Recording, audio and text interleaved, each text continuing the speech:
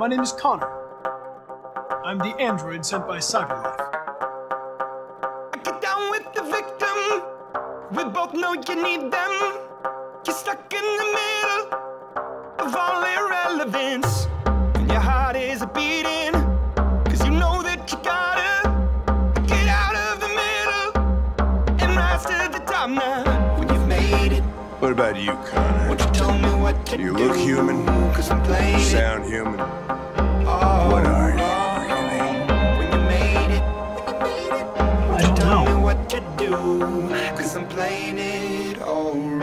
Do you never wondered who you really are? You can't fight the friction!